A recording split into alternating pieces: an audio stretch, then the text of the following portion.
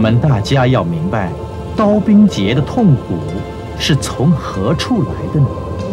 凡事是不离因果的。过去造了八苦的因，现在就要受八苦的果。了知因果的关系，就知道刀兵劫也是一种果报。可是有一部分的人是不相信万法皆有因果的道理，因为他没有研究过佛法，所以就不相信因果的道理了。既然不信因果，那么刀兵劫是什么原因呢？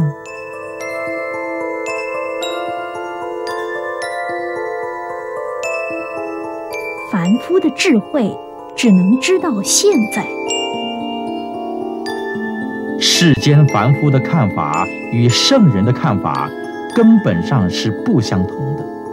凡夫的看法分为两种，第一种，他认为刀兵劫是帝国主义的侵略者所造成的，这是想要征服世界而引起的战争。再一种的看法是认为国内的野心家不守本分，扰乱内部的治安，叛国造反而引起战斗，所以就发生了刀兵的劫难。一般的凡夫以为这两种就是刀兵劫的原因，其实这并不是根本的原因，不过是一种助缘而已。既然刀兵劫是缘，那么它的因在哪里呢？这不是普通人能够了解的，一定要智慧高超的圣人方能了解。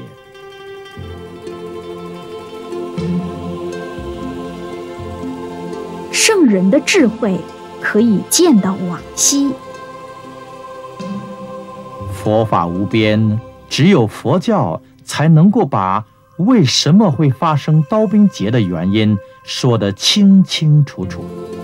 我们举一个比喻，拿一粒瓜果的种子种在土地里，这叫因；后来种子出芽长大，瓜果成熟，就叫果。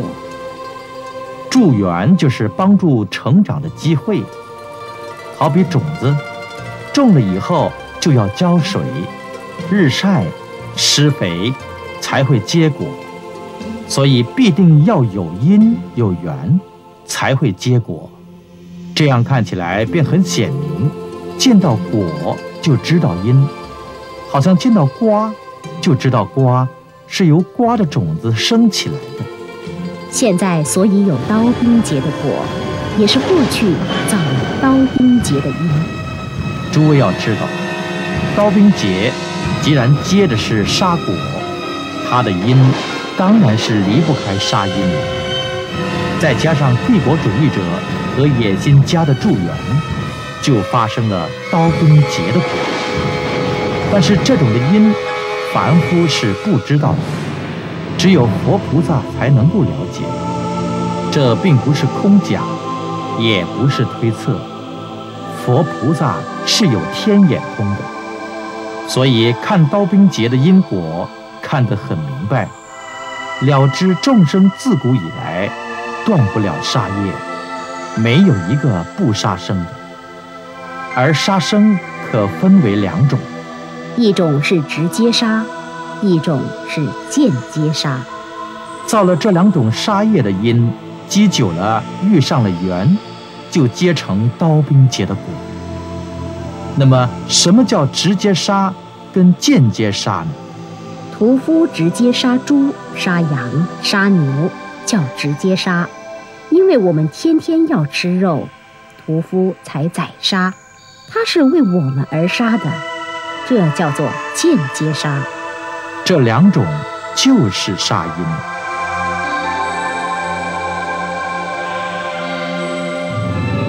杀生的主犯，大家都以为直接杀的最重，吃肉的人罪就轻，这是不对的。政府的法律犯罪也分为两种，也就是主犯跟从犯。主犯。就是自己去做，从犯就是帮凶。可是，直接杀生的人是主犯呢，还是间接吃肉的人是主犯呢？这是不一定的。譬如屠户自己杀了猪去卖的时候，这时候屠夫就是主犯，买肉的人就是从犯。但是肉不够卖，买肉的人还是很多，屠夫就在杀。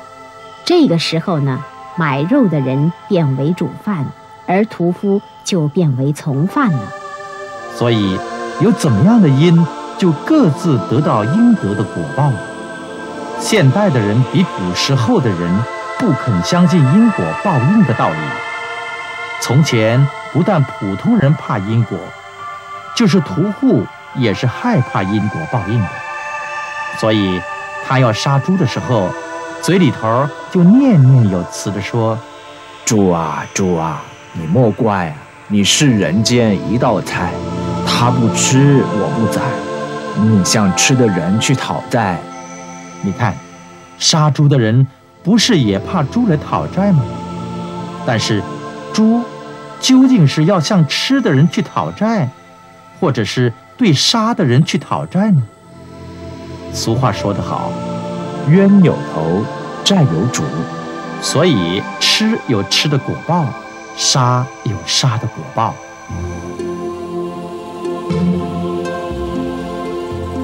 刀兵劫的状况。话说到这里，我们已经明白刀兵劫的原因了。那么。刀兵劫到底是怎么样的可怕呢？有的人曾经亲眼见过，可是时间久了也就忘掉了；有的人根本没有见过，不知道刀兵劫的可怕。所以现在把刀兵劫的状况分为四种来说明：一、杀人。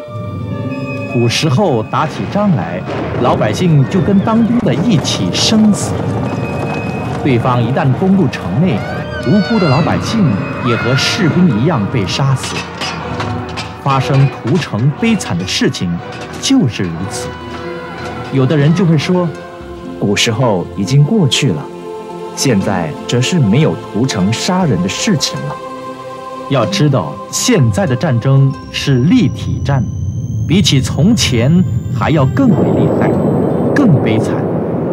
现在甲国制造原子弹，乙国也制造了原子弹。那么，请想想，制造原子弹的目的究竟在哪里？是否将原子弹永远放在仓库里呢？假如一粒原子弹从空中投下来，什么人都是不能绝对保证自己不会死在战火之下。二放火，自古以来有战争就有放火。现在有什么汽油弹、烧夷弹等等的武器，是专门为烧毁对方用的。一旦起了火，不是烧死，就是房屋财产，通通一概烧光。三家破，人们为了避免战乱的伤亡。就要逃避，所以家庭也就破碎了。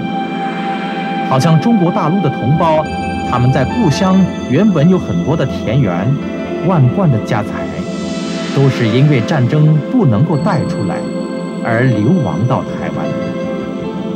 四人散，炮火逼近城内，大家都赶紧想要逃走，一手拉着儿子，一手拉着女儿。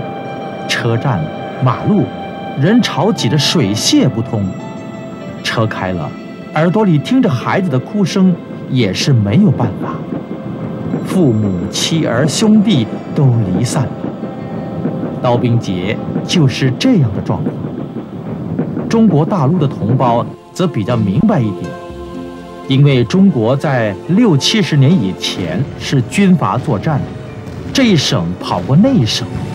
接着又发生中日战争，飞机炸得家破人亡。台湾也有少数人尝过这种滋味。现在刀兵节虽然还没有到来，可是刀兵节的因造了太久，一旦遇上缘，就会爆发。但是，当刀兵节的缘未来以前，也有办法挽救。不过，多数人是不信刀兵节的因果，那么也就爱莫能助了。古人说：“和气致祥，戾气致乖。”意思是说，和气就会吉祥，是好的；戾气致乖是不好的。冤魂是会来讨债的。上面说的屠夫之词，你想想看，要向吃肉的人去讨债，因为欠他太久，他就要来讨还债务。还什么债务呢？那就是刀兵劫。说到这里，恐怕大家不相信。再举一则事实来证明。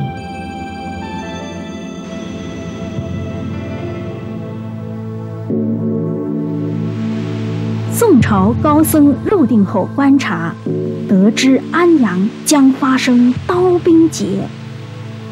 在宋朝徽宗皇帝时代，北方的金兵向南攻下来，所到的地方都通通被金兵焚烧残杀。尤其是河南的安阳镇，所遭受的灾祸最为惨重。当时在安阳的地方，有一位高僧能入定观察因果的事情。安阳的人觉得这样惨重的灾难，不知道是什么原因，但是其中必定是有缘故的，就去拜问这位高僧。高僧就对大家说：“因为安阳的人。”过去所造的杀业比别的地方多的缘故，所以这次所遭受的刀兵劫灾祸也比别的地方厉害。可是这个杀业的报应还没有尽，刀兵的灾害还会继续而来。你们安阳的人赶快回心转意戒杀，就可以减轻将来的恶报。但是安阳人大家都不相信这位高僧的话，依然还是大杀特杀。以后连续好几年，兵火连绵，安阳人民都是惨遭屠杀。后来才相信这位高僧的话是对的，可是已经来不及了。这一则公案就证明了，杀生是因，刀兵劫是果。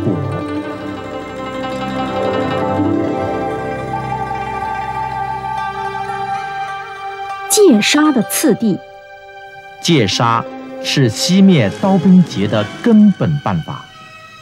现在刀兵劫也已经摆在眼前，刀兵劫是从杀因而来的，我们应该不再造杀因，叫做戒杀，以免将来受到刀兵劫的痛苦。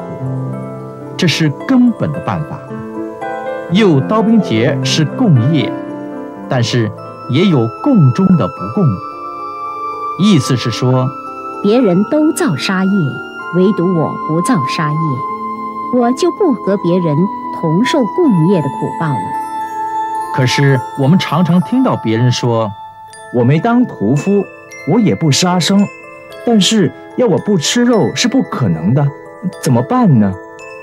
你不杀生很好，那么我给你介绍方便的方法。因为刀兵劫有三等的灾难，戒杀也有三等的功德。上等的功德就会熄灭上等的灾难，中等的功德就会熄灭中等的灾难，下等的功德会熄灭下等的灾难。上等的功德是常年如素，要是做不到，就必须要看苦怕阴。中等的功德是六月、十二月以及每天早上吃素。这样，假如做不到，就做下等的功德。下等的功德是十斋、六斋、随份花斋，以及佛菩萨的圣诞日吃素，最少限度也要吃三净肉。什么叫三净肉呢？所谓三净肉。就是不见杀，不闻杀，不是为我杀的。有一家素菜馆挂着这样的一幅对联，很有趣味。上联是“持斋一日，天下杀生无我份”，下联是“债有谁知，带两只脚古今还”。意思是说，吃素一天，今天被杀了几千万的活物，也没有我的罪份。讨债还债，什么人能知道呢？你看牛羊头上的两只角，自古一直到现在，都是讨了再还，还了再讨。我们想想看，可怕不可怕？奉劝诸位。为了消灭正将来临可怕的刀兵劫难，赶快来持素，赶紧要戒杀。要知道，千百年来碗里羹，冤深似海恨难填。欲知世上刀兵劫，试听屠门夜半声。这是真话。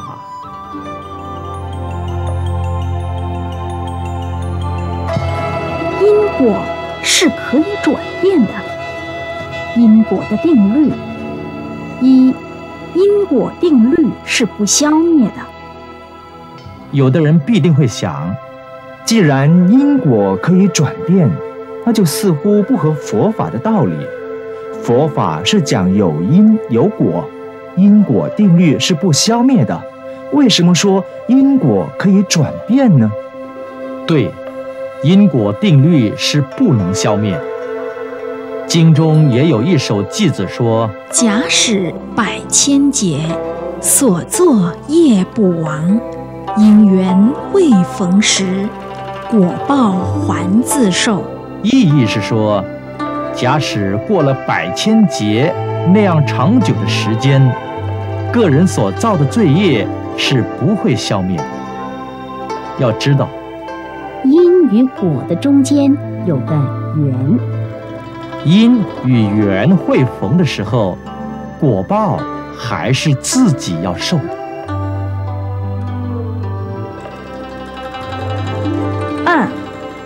果定律是不抵消的。有的人必定会想：假如过去作恶的很多，现在做出很多的善来抵消，也不可能吗？对。不可能，因为因果定律是无法可以抵消的。善有善报，恶有恶报，这是一定的道理。好比一块土地上同时种下瓜种，也种下豆种，后来瓜种一定生瓜，豆种一定生豆。瓜是不会消灭豆，豆也不会消灭瓜的。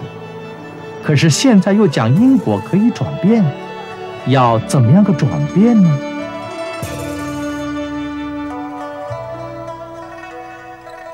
知道因要断缘，可转果。一要明白事理。诸位要知道，因是因，缘是缘，果是果，这要分为三段来说明因。由缘而生果，现在所要讲的是缘。什么叫缘呢？我们大家想想，刀兵劫会来吗？诸位必定会回答，不会来的。这是刀兵劫的缘还没到，在这个缘还没成熟的时候，才可以转变因果。假使断掉了刀兵劫未成熟的缘，就可能转变刀兵劫的果报。然而，刀兵劫的缘一旦成熟，就没有办法补救了。因为过去共同造的业缘成熟，即使你神通广大，也是没有办法解决的。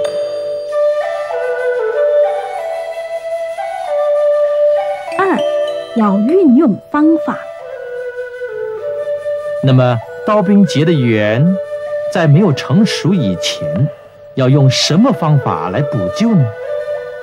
那就是要用消灭增上缘的方法，好像大夫医治病人要对症下药的道理是一样的。病人要是发烧，就要开凉药；病人得的是寒症，就要开温补剂。所以，对症下药就是良药。假如病人得的是热病，却用补药；得的是寒病，却开的是凉药，这种医生啊，就会害死人了。要知道，受刀兵劫的报应，是过去造了杀因，所以要受杀的因果。现在只要断杀因，就没有杀缘；没有杀缘，就不接杀的果报。就不会发生刀兵劫。这种断缘的道理，大家如果听不明白，这里就举一个故事来引证。过去有一个地方，有一座寺庙，有位法师在那里讲经，同时有一个曾经造了大罪业的人，听完了经，就去请问法师说。我过去杀生害命，已经造了很大的罪业，现在该怎么办呢？法师就教他说：“你要真心流露，发心忏悔。现在还没结果，断缘就可以了。但是这个人只知道因和果，不明白缘的道理。”法师就善巧方便，拿一包吉梨给他，教他种在寺后空地的东西两条小路边，并且说：东边种的几里要撒石灰，不要浇水；西边种的呢，要天天浇水。法师又交代他，每隔五天。要光着脚在上面走一次，东边走走，西边走走。这个人头一次东走走，西走走，并没有什么感觉。法师就再叫他，西边依然天天要浇水，东边呢依然是不可以浇水啊。再隔五天，也是要光着脚。两边走走，又隔了五天，这个人也是如此的走来走去。这个时候，他忽然看到西边种的吉梨已经长出芽来。再过五天，看到芽已经长了三寸，而且开出了黄花。他仍然是走来走去。再过五个星期，在西边赤足走的时候，就被吉梨的刺儿。刺的不能走了，法师就问他：“东边走的时候感觉怎么样啊？”那个人回答说：“不感觉什么。”法师再说：“东西两边都是吉利种子，为什么东边能走，西边却不能走呢？”这个时候他才恍然觉悟，原来东边撒的是石灰。而且又不浇水，因此断了缘就不发生作用了。而西边的吉梨天天浇水，这水的增上缘就发生了力量。所以显然是同时下种，东边的不发芽，而西边的却很茂盛。这就是有缘则生，无缘则灭。因果是可以转变的道理。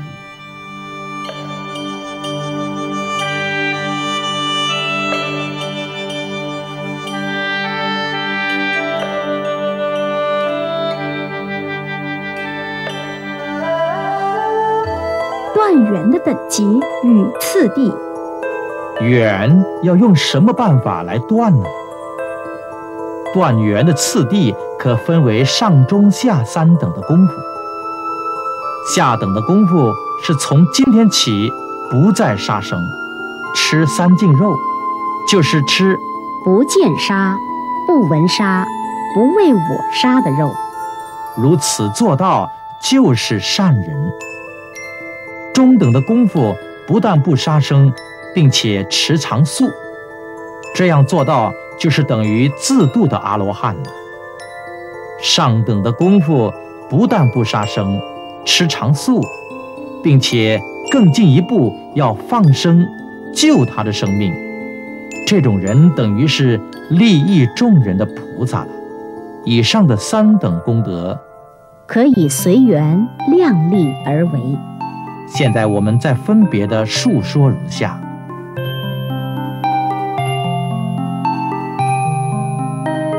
一、下等的功夫断缘戒杀，容易行。所谓随缘消旧业，更不造新殃。我们先讲容易行的下等功德，要从断缘戒杀做起。古大德有两句偈子说：“随缘消旧业，更不造新殃。”意思是说，有肉可吃就吃，没有肉就算了。随缘就会消掉旧的罪业，千万不可为了要吃肉而再杀生害命。又造新的罪业而去受灾殃。大藏经中有一部《婆娑论》，其中有一句说：“若一日一夜持不杀戒，当于来世中绝不遇刀兵劫。”你看，只有持一昼夜的功德，就这样大的不得了了，何况是常持不杀戒的功德，岂非更大了？话说到这里。或许有人会问：听你说不杀生是为了避免来世的劫报，要是希望现世就避免刀兵劫，是否可能呢？我的答复是可能。有一则故事可以做证明。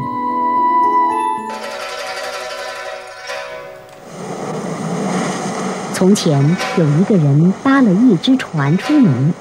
在船内看见船主的木桶中有两条活泼泼的鱼，在水桶里游来游去，可能中午就要杀了吃的样子。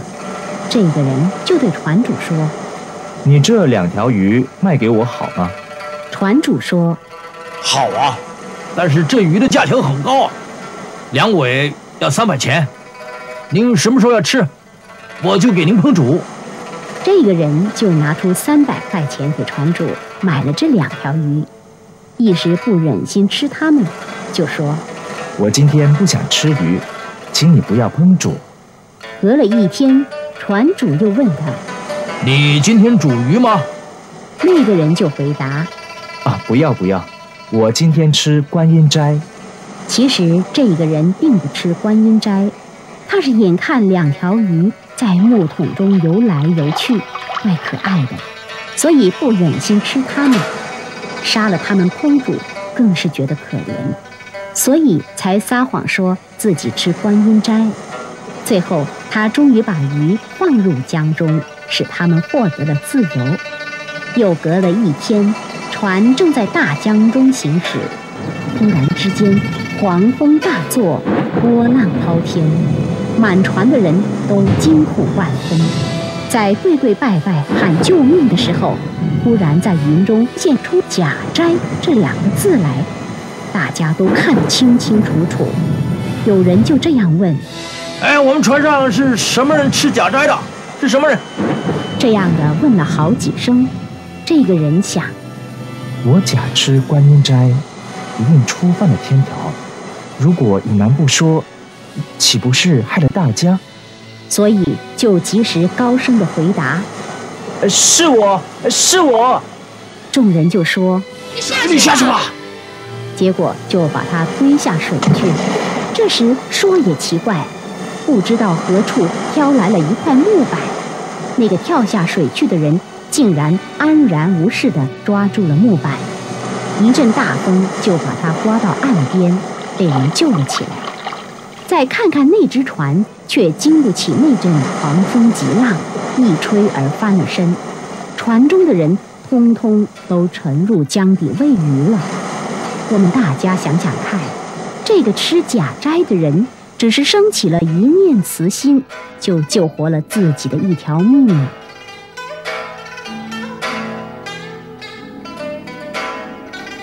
二，中等功夫，断缘兼速，较难行。再说中等的功德，不但要戒杀，同时还要素食。实行起来比较前面的稍微难一些，因为人生下来就有肉食的习气，要断肉食是很难的，不容易断怎么办呢？这必须做下面几种观想：一、恐怖刀兵劫的来临。请问大家怕刀兵劫来临吗？要是害怕，这碗肉放在我面前，应该观想，当时这个畜生被人宰杀的时候，是如何的恐怖、害怕。好像刀兵劫来一样。为求避免遇到刀兵劫，我就不吃这碗肉。这是第一步的观想。二，恐怖贼寇来的时候被执。第二次的观想，一旦战乱发生，敌兵来的时候，人民被捆绑起来是何等的可怕。这个时候应该观想，想这碗畜生的肉，当时被人买去，把它捆绑起来的时候，是何等的可怜。为了避免被贼抓去捆绑，我就不吃这碗肉。三，恐怖家人的离散。第三步的观想。每个家庭都有父母、兄弟姐妹、妻子、眷属。要是一旦被贼捆绑去了，六亲眷属妻离子散后的悲伤是多么的痛苦！这时候就应该观想，当时这畜生被人捆绑捉去以后，他的眷属悲悯哀号时的可怜相状。这碗肉。我就不忍心吃了。四，恐怖自身的被杀。第四步的观想，假使我们这个身体被人要杀死的时候，个人的心情是愿意还是不愿意？这个时候就应该观想，当畜生被宰杀时的流血。以及在刀砧上切剁、锅子里烹炸煎煮的痛苦，为求自身避免被人杀，这碗肉我就不敢再吃了。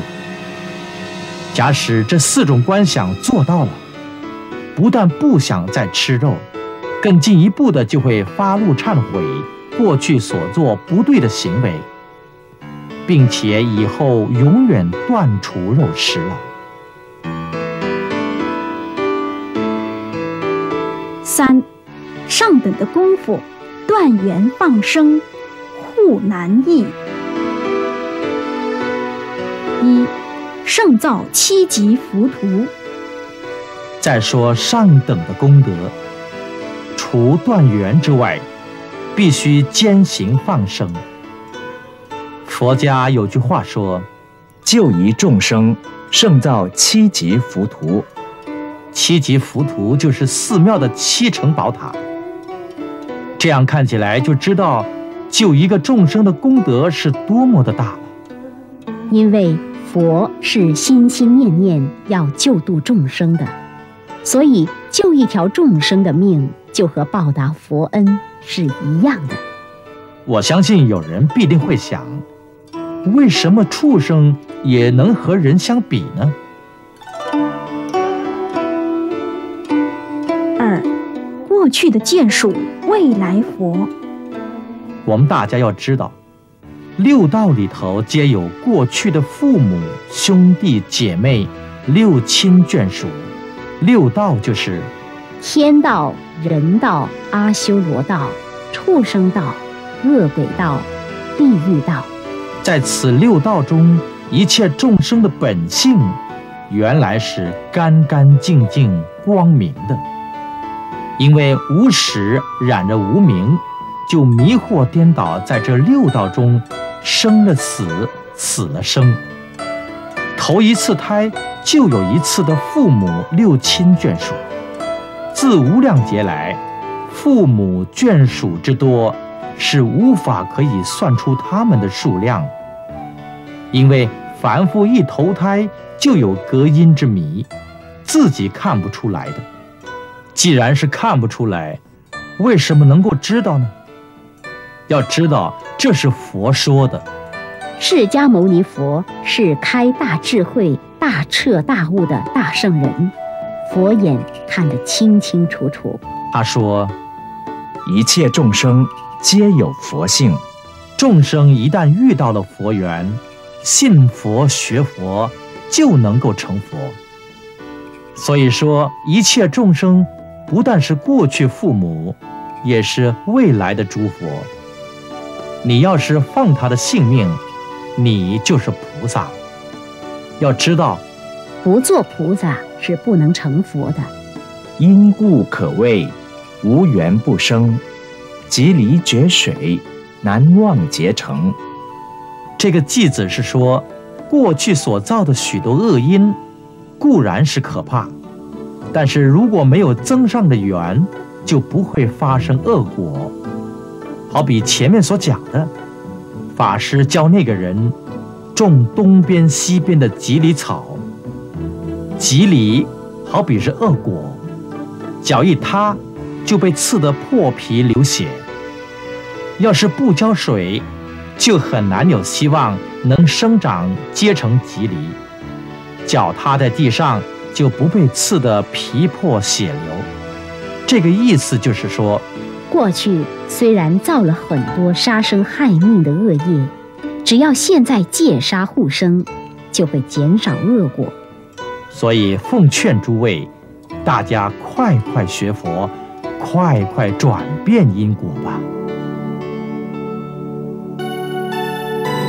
吉祥和灾殃的原因：一、和气致祥。诸位要知道，杀是万恶之首，不但凶恶残暴，而且是伤天害理最不好的事情。俗语说：“天地人三才一脉相通”，意思是说，人心好比天地之心。心恶就是恶人，心善就是善人。人心凶暴，天地也会变得凶暴；人心和气，天地也会变得和气。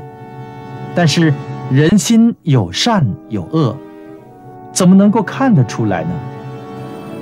要知道，心善就会做出善的事情，心恶。就会做出恶的事情。天地和平就是和气，天地不和就是凶暴之气。人好，天地好，就是吉祥；人不好，天地就坏，就变成灾殃了。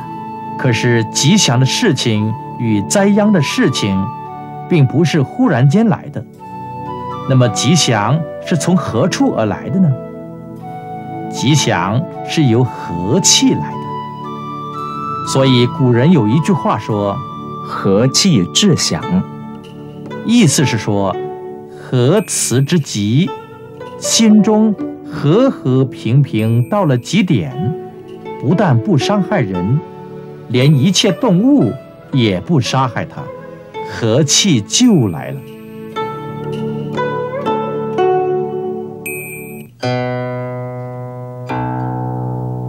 举一个例子来讲，古时候的周文王是最慈悲的帝王，他视民如商，看见每一个老百姓都如同受了伤、受了大痛苦一样的可怜，他的心不但对活人如此怜悯，对死去的骨骸都不忍心让他日曝雨浸。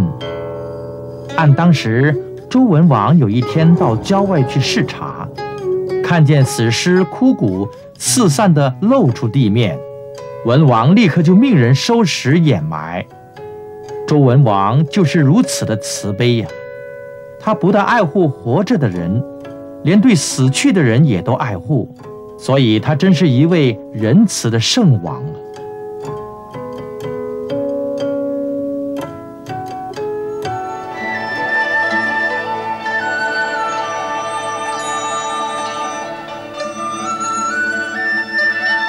再说到孔圣人的七十二位大弟子，其中有一位姓高名柴，他是个大贤人。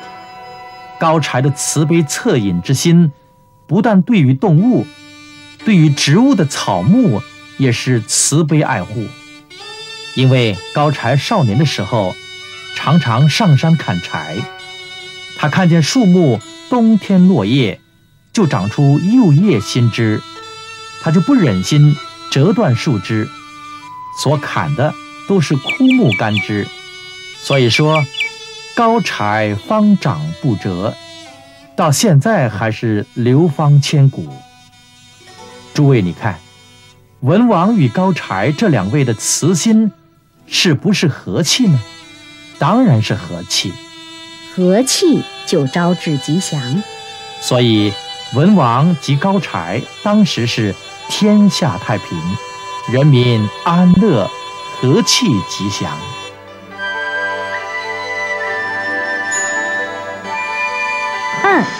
利气至殃。诸位听到这里就知道和气致祥是很好，可是相反的一种是利气致殃。这句话怎么讲呢？好比有一个人一肚子的暴戾之气。这个人就一定会招致灾殃。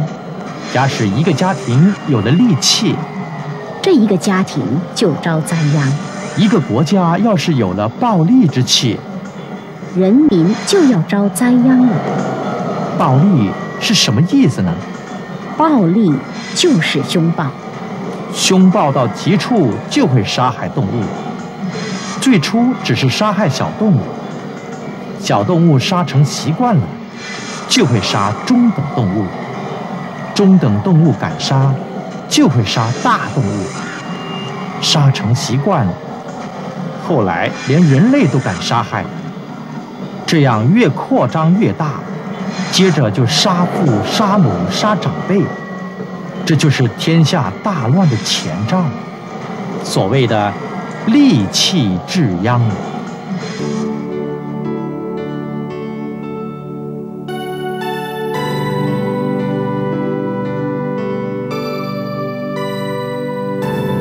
但是天下有有智慧的人，也有愚痴的人。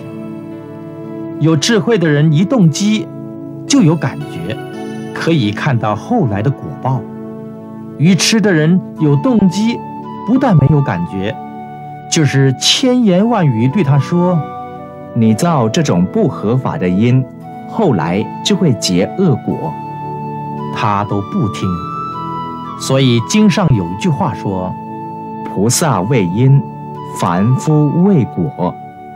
意思是说，有智慧的人看见了因，便知道后果，就不敢再作恶；凡夫不知道作恶因的厉害，就会为非作歹。等到受果报的时候，虽然害怕，也来不及了。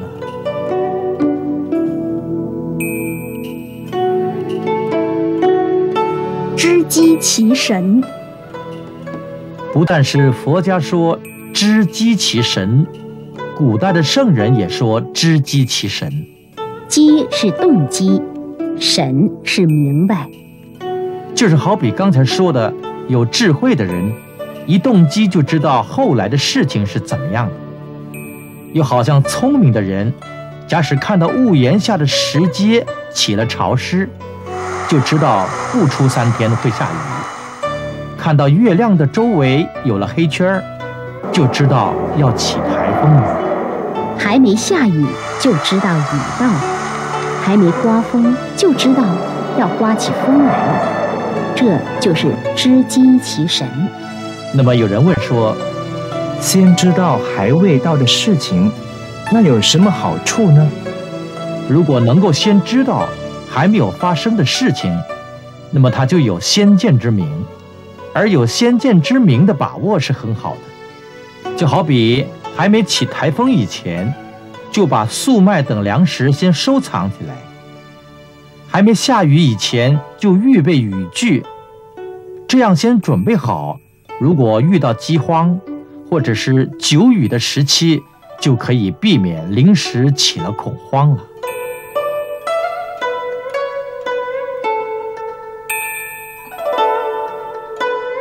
防微杜渐，这句话的意思是说，一件事情无论是大或者是小，在刚开始发生的时候，就要预防，不要使它扩大起来，这就叫做防微杜渐，就是把它塞住，不可以让它发生。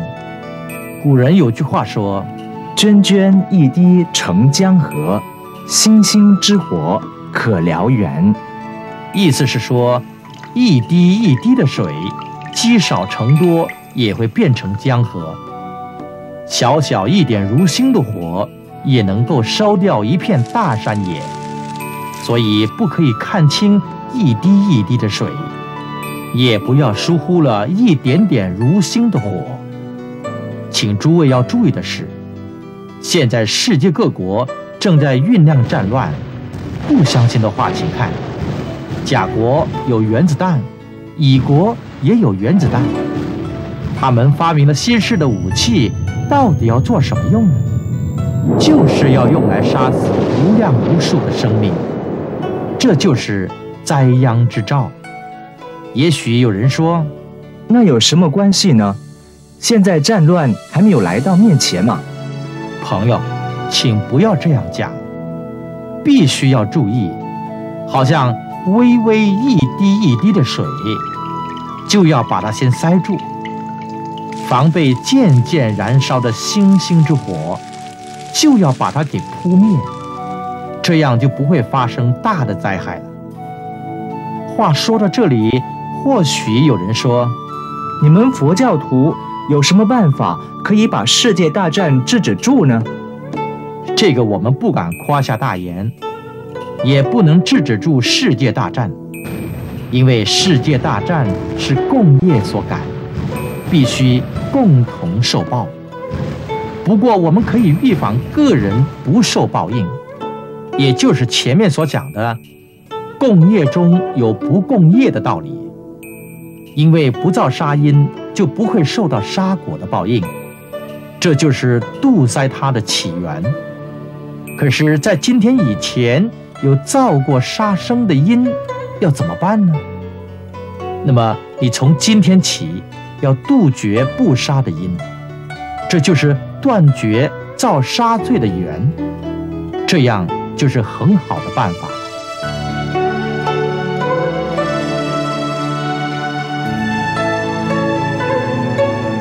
哲人放生，社会上的一般人都是说。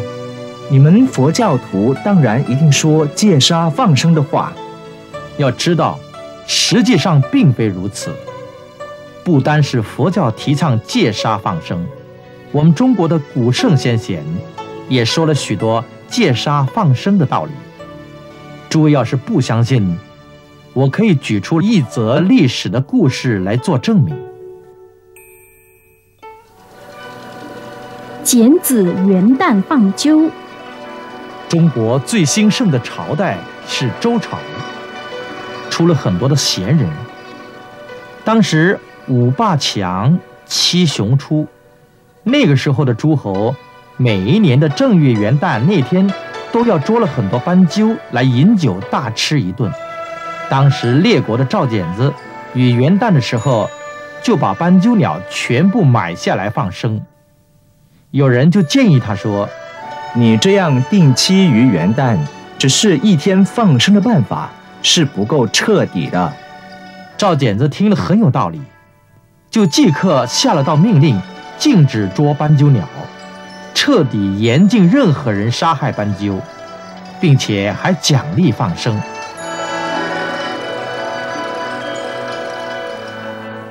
专详尽载。古时候旱灾就要祈雨，要祈雨就不许杀生，禁止屠宰。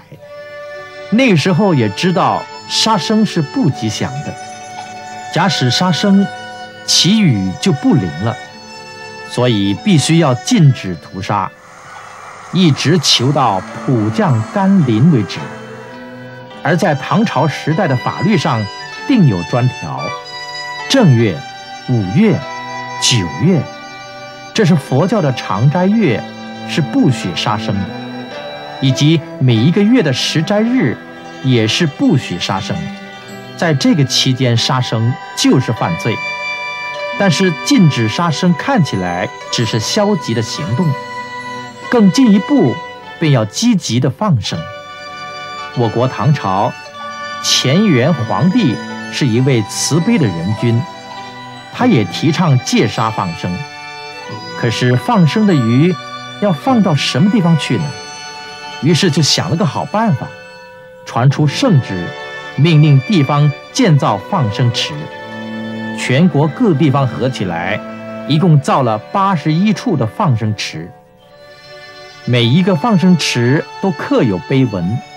所立的碑文都是有名的学者、书法大家所书写的，例如颜真卿等名人，现在他们的字帖还流传在世间呢。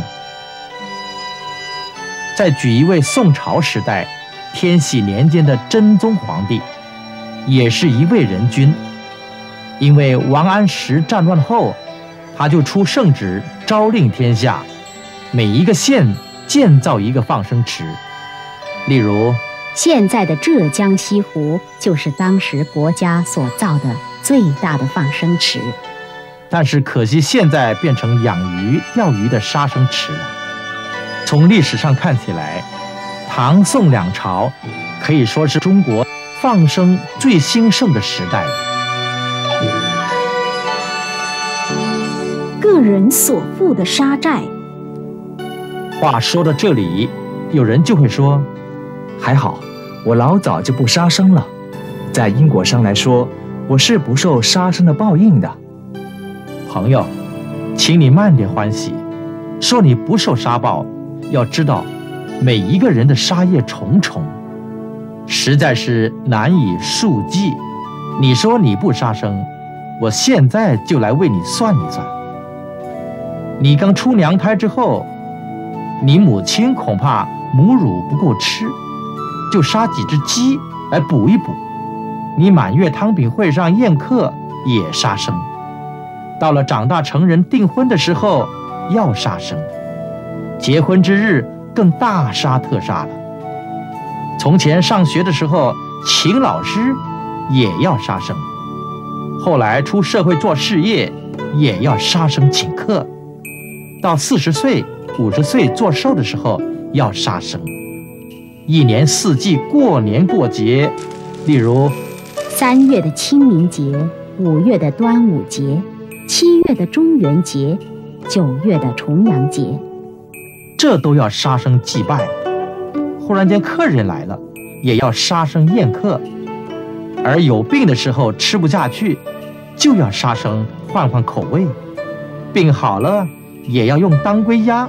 来补养补养，病体好了，要答谢医生，也要杀生。而人生有生必有死，一命呜呼哀哉告别世那天呢，则是更加的大杀而特杀了。请诸位想想看，对不对呢？以上十几种条件，虽然自己不杀生的人也多杀生，每天无肉不欢的人。则更是天天杀生了，这样的人更是说不清楚。我们大家现在做人杀生造业，前生做人也是这样的杀生造业，乃至多生以来造了杀业是重重无尽的。杀一条生命就结了一条冤魂，时时刻刻都在你的身边等候机会讨命。不但是外来的冤业在讨报。而自己的杀业种在八十田中，随时都会发芽起现行的，也就是造罪的种子，时时刻刻都要牵引你去受报应。诸位要知道，要是一团和气，就招吉祥；要是暴力凶恶，就招灾殃。假使天天杀，大杀特杀，是和气呢，还是凶暴？所杀的冤魂天天要讨命，是吉祥呢，还是灾殃呢？请大家自己想想看。听你这样讲，我很害怕，那要怎么办呢？朋友，你也不必着急，现在祸患还没来，灾殃还没有起，只要从今天起不再杀生。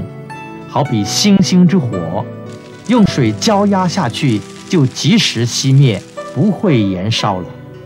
那么冤魂来讨债怎么办呢？你要相信佛法无边，自有不可思议的力量超度他们。因为拔度他，使他转投人道或天道去，就不来找麻烦了。我这样讲，有人必定会说。你说戒杀就可以堵塞住乱源，我是可以相信的。但是你们佛家说佛经可以超度亡者，这个我就不相信了。大家要是不相信，我就举两个事实来做证明。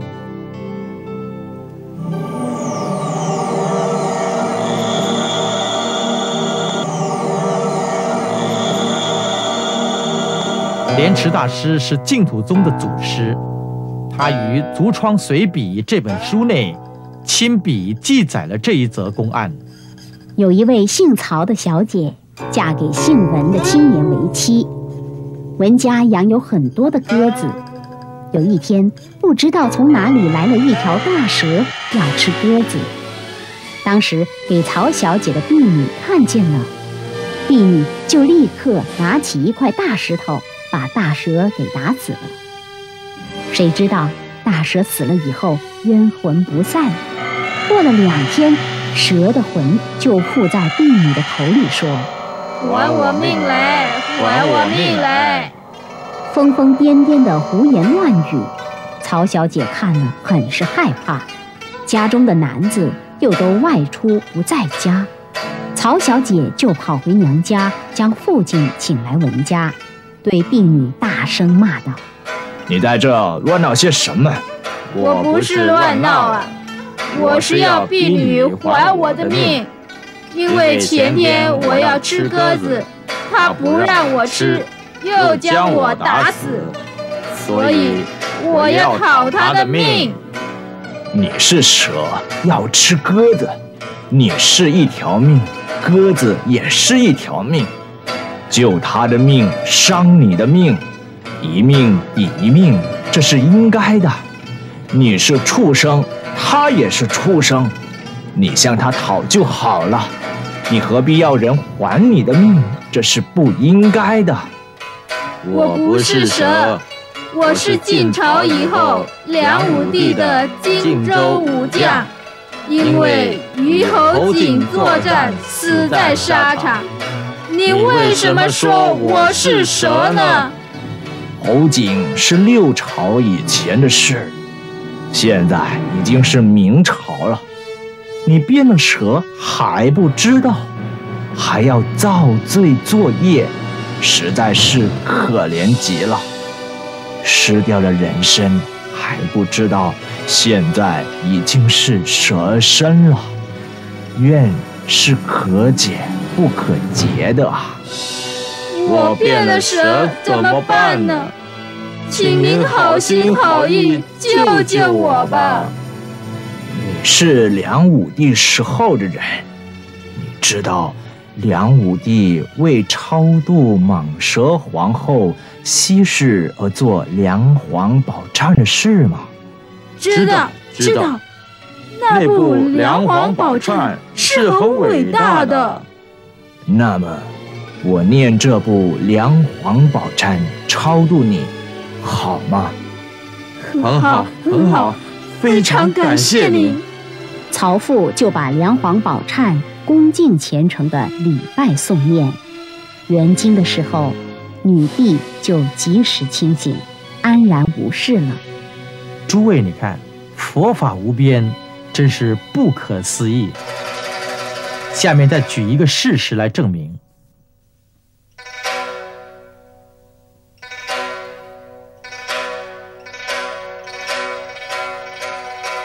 明朝的崇祯皇帝庚辰年间，江夏的贺宰相有一天晚上停船在江口寻鱼嘴的地方。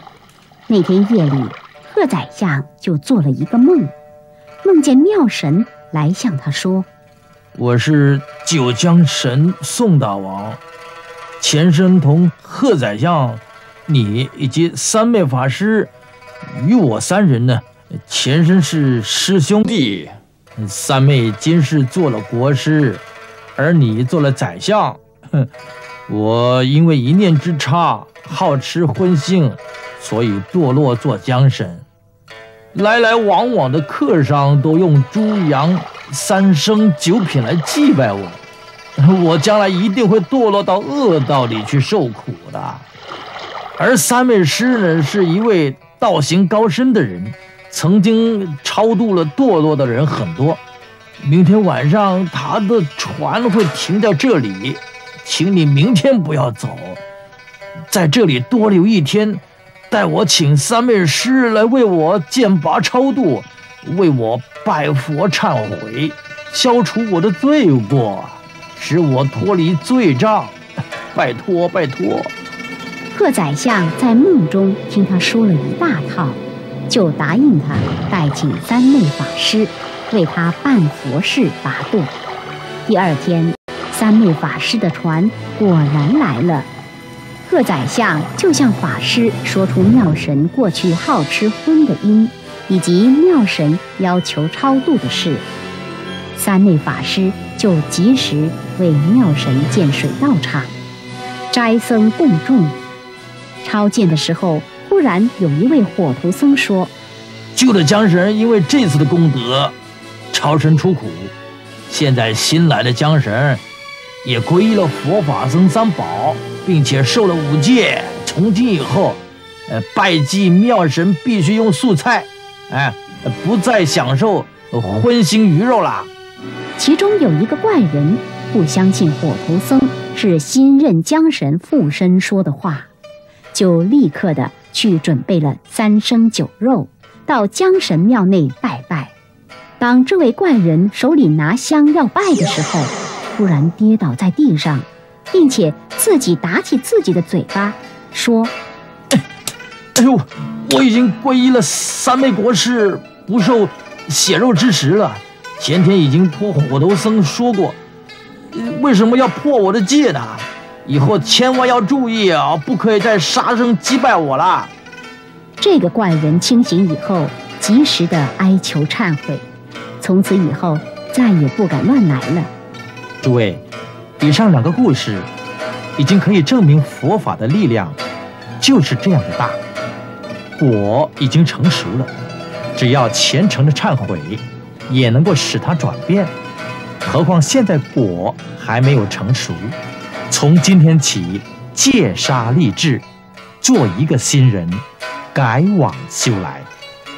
这首偈子的前两句：心如红炉，醉如片雪，放下屠刀，立地成佛。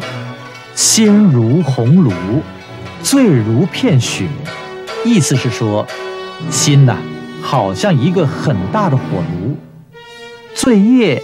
好像是一片冰雪一样。诸位想想看，一片冰雪落在火炉中，还能够存在吗？而放下屠刀，立地成佛，这是说理。也就是释迦牟尼佛在世的时候，有一个屠夫，手里拿着一只牛刀，上面染着星星之血，来到佛陀说法的道场听法。屠夫听了法之后，立刻就心开意解了，一边说很有道理，一边就把手里拿的屠刀放下不要了。这个时候，他就立刻正了果位，后来终于成佛了。所以奉劝诸位，现在战乱还没有来临，大家要快快的改往修来，快快的戒杀放生。所以我们现在已经真正明白，受刀兵劫的报应是过去造了杀因，所以要受杀的因果。现在只要断杀因，就没有杀缘；没有杀缘，就不结杀的果报。就不会发生刀兵劫了。